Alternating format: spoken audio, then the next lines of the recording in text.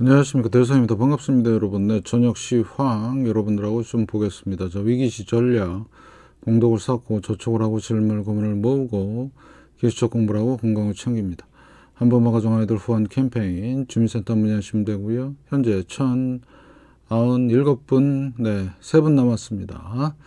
자, 다른 쪽에 후원이나 봉사하시는 분들은 제 채널 영상 댓글에 올려주시고 한 분 더 추가해 주신 겁니다. 소, 좀 이따 소개시켜 드리고요 네, 처음 오신 분들은 재생 목록 처음 방문 가서 공부하시고 공부는 캔들부터 마스터하십니다.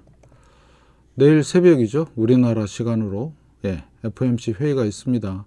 잘 체크하셔야 될 것 같고 예, 장마감 시황입니다.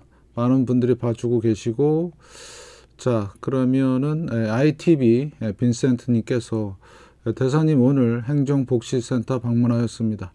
기부 관련 서류를 작성하였고 후원 대상 아동에 대한 대략적인 상황을 알려준다고 하더군요. 네, 내일부터 후원이 진행될 것 같습니다.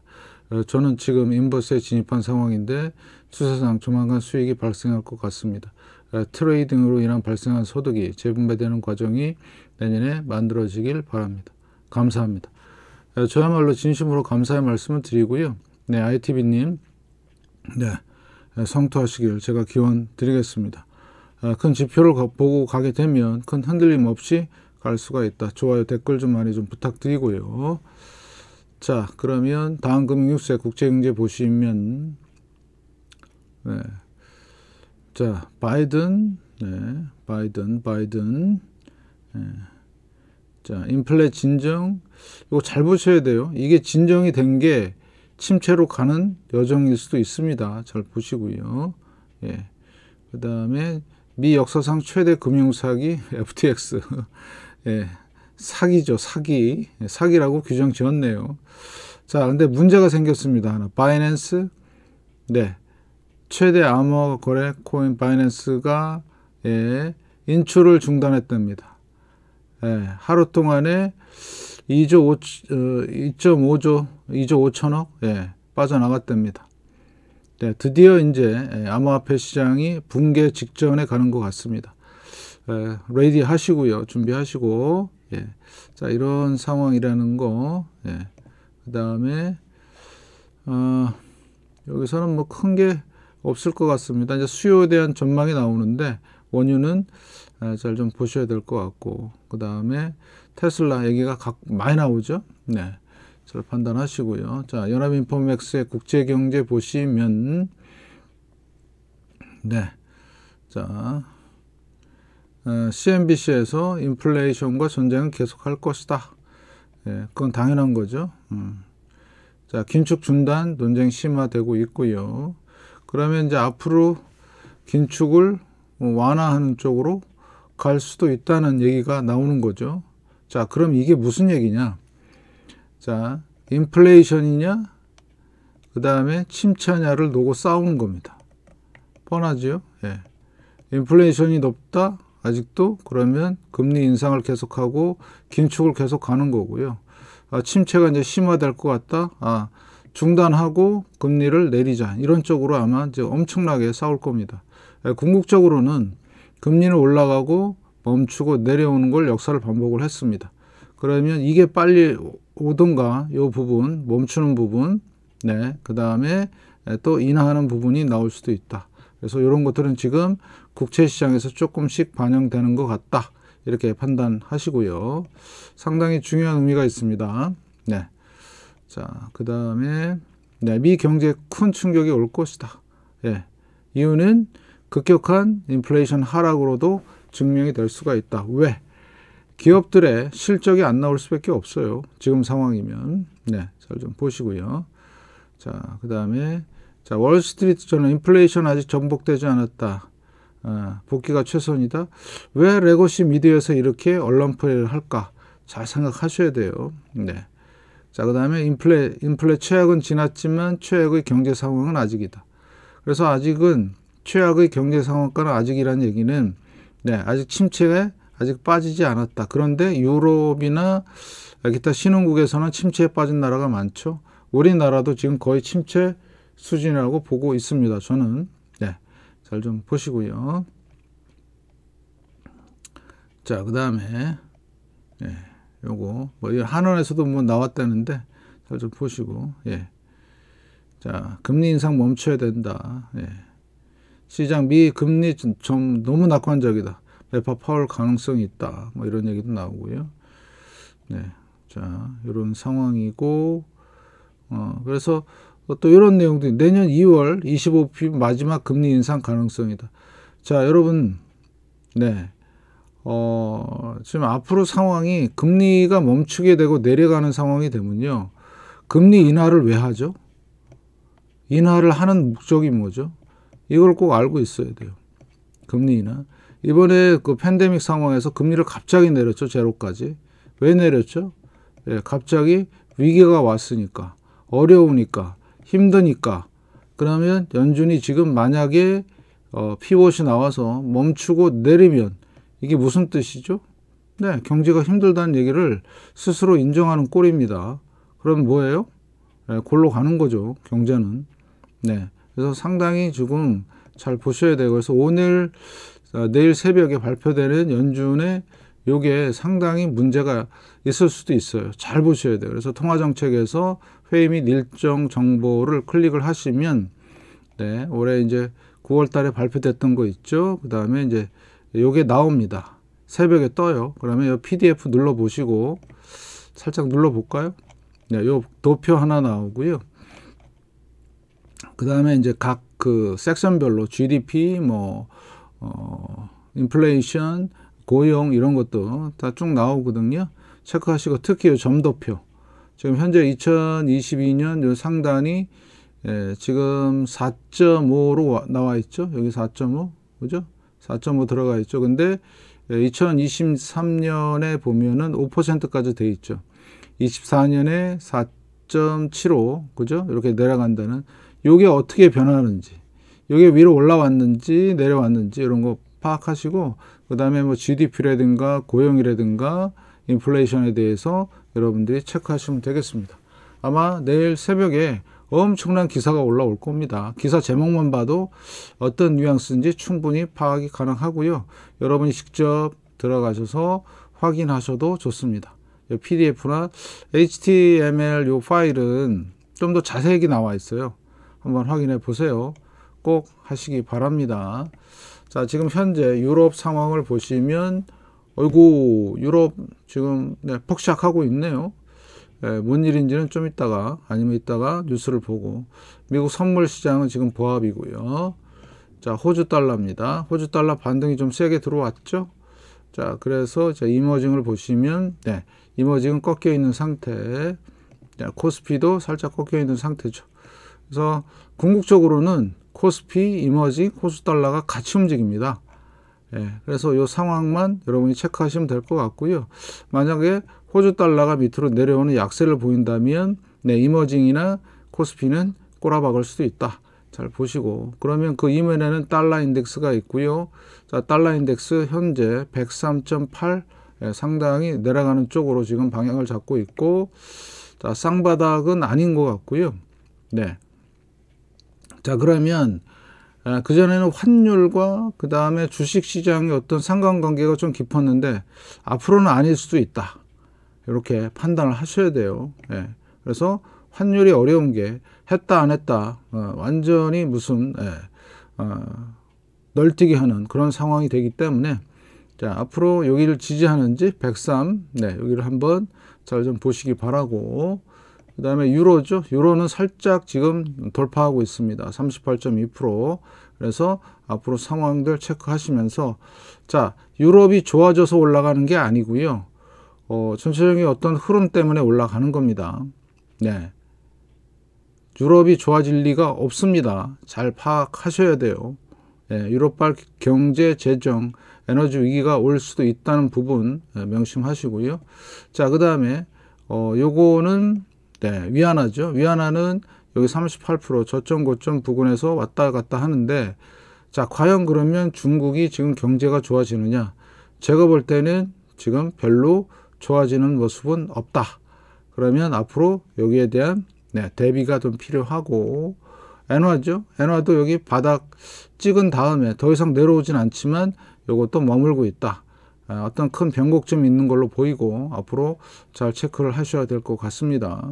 자, 5년 기대 인플레이션인데 아직까지 이제 2.3을 벗어나지 않고 있죠. 네. 계속해서 지금 네, 2.3% 2% 밑으로 내려와야 되는데 근데 만약에 기대 인플레이션이 2% 밑으로 갑자기 내려오면 자, 무슨 일이 생겼죠? 네. 크러쉬가 났습니다. 경기 침체 빠졌고요. 이때도 팬데믹 상황에서 크러쉬가 났죠. 근데 만약에 갑자기 내려오면 아, 크러쉬가 또 발생이 될 수 있겠구나. 이렇게 예, 좀 생각하시면 좋을 것 같고요. 그래서 지금은 상당히 위험한 시기가 아닌가. 자, 10년물도 마찬가지죠. 예. 2.2%를 벗어나지 않고 있습니다. 마찬가지입니다. 얘가 2% 밑으로 내리꽂는 순간, 네, 이런 똑같은 예, 침체에 빠질 수 있는 확률이 생긴다. 그러면 앞으로 내년 초가 상당히 위험할 수도 있겠죠. 예, 잘 보시고요. 자, 국채 10년물 예, 계속해서 추세적으로 내려오고 있다는 거 계속 제가 말씀을 드렸죠. 자, 그러면 정책금리인 3개월물은 이제 4.4 그러면 이제 4.5 찍을 거지요. 네, 그 다음에 2년물에서 중요한 신호가 여기 보시면 예, 3.58% 어제죠. 지금도 내려가고 있습니다. 원래 얘는 누굴 따라가죠? 요걸 따라가죠. 근데 지금 안 따라갑니다. 여러분 요거 이상하지 않으세요? 좀 이상한데? 그죠? 예. 단기 금리가 내려간다? 그러면 연준의 예, 금리 인하와 아니면 금리 인상을 멈추는 사인을 읽고 이쪽에 이제 신호가 발생이 되는 거 아닌가? 자, 5년물 보세요. 3.6입니다. 많이 내려왔죠? 예, 그 다음에 아까 10년물, 30년물, 네. 자, 30년물 보시면 어디 갔냐? 아, 요거. 예. 지금 3.5예요. 여기 얼마였어요? 예, 4.3이었어요. 엄청 내려왔죠? 지금 시장은 금리 인하 뿐만 아니라 경기 침체까지 반영을 하면서 장기 국채는 계속해서 나오고 있다.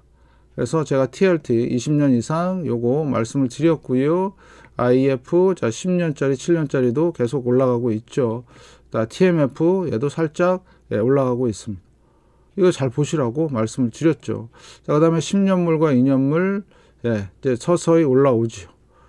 어, 이게 이제 골 때리는 상황이 되는 겁니다. 자, 10년물과 3개월물 얘는 내려가는 이유가 금리가 올라가니까.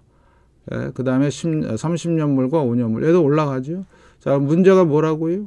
이거라고요. 예. 올라가게 되면 급등하게 되면 자, 폭시작하죠. 주식 시장. 그죠? 역대급 그랬습니다. 이제 올라오고 있죠. 예. 팬데믹 상황은 오히려 역전이 안 됐었습니다. 30년물과 5년물을 보면. 자, 그 다음에 10년물과 그 다음에 2년물 역대급으로 내려, 내려온 상황에서 그러면 얘가 급하게 올라올 수 있다는 가정하에서 연준의 금리 인상이 임박했다고 봐도 어, 아, 금리 인하가 임박했다고 봐도 큰 무리가 없, 없지 않을까라는 네, 생각을 해볼 수도 있죠. 네, 얘 보세요. 10년물과 3개월물이 이렇게 벌어진 적이 있었습니까? 예, 그전에도 있었겠지만 지금은 없다. 앞에서 예, 보이시죠? 그러면 얘는 급하게 올라올 수 있는 그러면 금리 인하밖에 없다. 그래서 어, 리먼 사태, 닷컴 버블, 대부잡 사태, 올 버블이 붕괴되는 그런 상황이 접근이 될 것이다. 그래서 우리는 자 S&P 500을 보시면 지금 이 상황 예, 연출이 이제 가능한 거죠. 보세요. 예. 자, 주식이 폭락할 때 폭등하죠.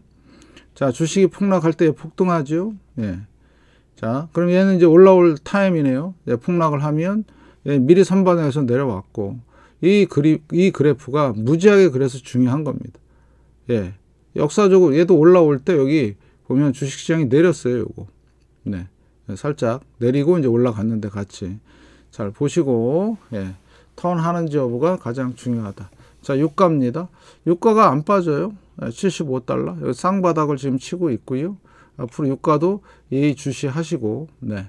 자, 그 다음에 구리, 예, 고점, 저점 38%. 그 다음에 여기서 만약에 예, 크러쉬가 나오는, 내려오는 상황이 생기면 뭐가, 뭐라고요? 네. A, B, 자, C 파동으로 갈 수 있다. 이렇게 판단하시고요. 자, 비트코인입니다. 양봉 살짝 생기고 있는데, 에, 왜 이러는지는 저도 모르겠습니다. 지금 바이낸스 지금 문제가 생기는데, 예. 아무튼 유동성이 축소가 되는 14,000달러, 1달러, 4,000달러까지 열어놓으시고요. 현재 RSI 41, 30, MFI, 예, 그러면 결국엔 풍덩으로 갈 것이다. 그러면 요때 마지막 final 나오는 게 이제 연준이 금리 인상을 할 때가 아닌가. 아, 인하할 때. 자, 그 다음에 다우 선물이죠. 하락, 반등 세게 나왔고, 자, evening star 아, 모양을 띠고 있다. RSI 56 현재 MACD 아직 golden cross 멀었다. 네, 이렇게 보시면 됩니다. 자, 그 다음에 S&P 500이죠. 자, S&P 500도 보시면 현재 RSI 51이고요. 하락 반등이죠. 그러면 파동상으로 하나, 둘 하고 지금 내려올 타임입니다. 요거. 예, 그래서 2000선까지는 열어두시라. 여기 저점까지는. 네, 이렇게 말씀을 드리고 싶고요. 그래서 어, 얘 같은 경우는 닷컴 버블과 리먼 사태를 대자비하는 그대로의 모습이다. 보시면 되겠고, 그 다음에 주봉을 보시면, 예, 현재 내려오고 있죠? 네, 요거 잘 좀 보시고요. 일봉에서 어제 이런 일이 있었어요. 보이시죠? 윗, 윗, 윗꼬리. 윗그림자. 살벌하지요? 이게 201선이거든요. 네, 거기 근처에서. 자, 그럼 왜 갑자기 CPI 왜 내려갔는데 이렇게 두드려 맞았을까? 세력들은 지금까지 CPI를 울거먹으면서 이용을 한 거죠. 그죠? 아, 그러면 이제는 CPI 이슈는 다 됐다고 신호를 보낸 게 아닐까라는 생각을 해 보시기 바랍니다. 네, 올라가야 되는데 여기처럼 이렇게 세게 올라가야 되는데 세게 올라갈 생각을 안 하고 그냥 때려버렸어요. 참 신기하죠. 잘 좀 보시고요. 그래서 지금은 상당히 주의해야 되고 A, B, 자 C파, 킬러 C파가 진행될 수도 있다는 거. 그 다음에 MACD 보면 점점 더 확대될 수 있다는 거 예, 명심하시고 시장을 잘 보시고요. 자, 그 다음에 리먼 데자뷰입니다. 리먼 데자뷰. 여기 보시면 자, 제가 계속 설명드렸던 부분이죠. 자, 하나, 둘 하고 자, 1, 2, 3, 4, 5. 자, 그래서 여기 이 네, 부분이죠. 1200포인트를 붕괴시켰던 요, 요 시기. 자, 그 다음에 A, B, 자, C의 1, 2죠. 얘는 반등이 조금 세게 나왔어요. 여기는 살짝 나, 어, 38% 나왔고 얘는 61.8% 정도 나왔습니다. 자, 그럼 이게 남은 거죠, 이거? 이거 3, 4, 5. 자, 그런데 여기를 붕괴되는 요 시점 3,500. 여기는 1,200이었고 여기는 3,500이다. 근데 어제 딱 두드려 맞았어요. 보시면 아까 보여드렸죠? 요거 두드려 맞은 거 지금 현재 못 올라가고 있죠. 그러면 아 이게 이번 달하고 1월 달 걸쳐서 폭삭할 수 있는 상황이 전개가 될 수도 있겠네. 1월 초나 1월 중순, 1월 말까지 해서 자 아무튼 3,500이 붕괴가 되면 네, 우리가 모르는 악재가 터지면서 이런 일들이 일어날 수도 있다. 똑같이 되는 게 아니라 예, 아무튼 요거 잘 여러분들이 파악을 좀 하셔야 된다. 너무나 똑같은 모습을 하고 있기 때문에 여기 반등만 조금 얘가 셌을 뿐이지. 잘 보시고요. 그래서 지금은 앞으로는 침체 이슈와 아, 그 다음에 실적 이슈가 아주 첨예하게 나올 거라고 저는 보고 있고요. 자, 나스닥 선물인데 RSI 46, MACD 잘 보십시오. 멀었죠? 여기나 여기를 봤을 때 한참 멀었습니다. 그러면 지금은 어, 한 7천 선까지는 이렇게 여기까지 60개월 예, 선인데요. 아, 이게 120개월 선인가요? 네, 여기까지는 내려올 수도 있다. 밑으로 더 갈 수도 있고요. 네, 잘 보시기 바라고. 그래서 지금은 상당히 경계를 해야 되는 시기임에도 불구하고 아직까지는 네, 뭐 상승이다. 뭐 이런 얘기들이 나오는데 아무튼 잘 좀 지켜보시고요. 추세는 계속 하락 추세 20주선 저항을 계속 받았죠. 둘넷 5주 동안 받았습니다. 20주. 네. 대단하지요. 그래서 장기 이평 데드 크로스 났죠. 상당히 불길한 신호다. 그다음에 일봉을 보시면 네. 역배열 상황이고 그죠? 정배일 때만 주식을 하고 역배일 때는 절대로 주식을 안 한다. 예, 200일선 또 저항을 받는 거죠. 보십시오. 살벌하지요. 예, 그래서 오늘 저녁 FMC에 의해서 어떻게 이제 방향을 잡을지 잘 좀 보시기 바라고요. 그 다음에 나스닥 요거 네. 요 그림 자 피레층 같이 요거 예, 윗그림자 윗꼬리 자 힘이 없지요. 지금 자 200일선 하, 하방이고요. 그래서 우리는 가장 대표적인 우리의 신호 200일선의 방향을 본다. 예, 얘가 자 요렇게 해서 이런 건 없고 절대로 절대 없고 이게 완전히 쭉 내려왔다가 자 이런 모습을 보일 것이다. 그랬을 때 이렇게 턴할 때 우리는 쇼 포지션 정리하고 그 다음에 본격적인 네 뭘 한다고요? 네 주식을 하면 됩니다. 자 미국은 네, 몇 개? 네 630개. 자 코스피는 몇 개? 350개입니다. 믿고 하시면 됩니다. 이건 국가가 인정한 거죠. 요거 350개, 630개는. 그 중에서 신호가 뜨는 거, 엠빌러프 상단을 돌파하고 올라가는 거, 예, 연습 삼아서 많이 해 보시면 여러분들은 충분히 자산가가 되실 것이다. 엄청난 비법이 공개되어 있으니까, 예, 뜻이 있는 분들은 참여하셔갖고요. 돈 많이 버신 다음에 많은 좋은 일 하시기 바랍니다. 이게 답니다. 예. 이것만 봐도 돼요, 이거 봐. 아무튼 뭐 저명한 무슨 뭐 박사, 교수, 그 다음에 뭐 엄청난 펀드 매니저, 뭐 무슨 장, 뭐 이런 애들 나와갖고 뭐라 뭐라 떠드는데 에, 웃기지 마. 나는 요거 하나만 볼 거야. 그러면 누가 이길까요? 에, 요게 이깁니다. 네, 거짓말 같지만 남들은 다 비관할 때 우리는 에, 상승을 얘기하고 남들이 더 갈 거라고 얘기할 때 우리는 폭락을 얘기했습니다. 맞잖아요. 네, 동의하면 1번. 미리 다 얘기했어요. 동의하지 않으면 2번. 네. 아시겠죠? 자, 우리는 미리 한 발 앞서서 다 예견하고 다 했다. 1번. 아니다. 이거는 순 엉터리다. 네, 엉터리. 그래서 엉터리는 믿지 말고 우리 박사 교수들의 말을 믿자. 그래서 우리 이거는 믿지 말고. 그래서 1번, 네, 그 다음에 2번. 오랜만에 예, 투표를 한번 해 보겠습니다. 그러면 남들 이거 폭삭할 때 나스닥 7천 가면요. 그때는 아무도 주식 안 합니다. 네. 미리 알고 턴할 때 우리는 이때부터 들어가는 거예요. 네. 그렇게 좀 보시면 될 것 같고요. 네. 그래서 오랜만에 1번이냐 2번이냐 한번 해 보겠습니다.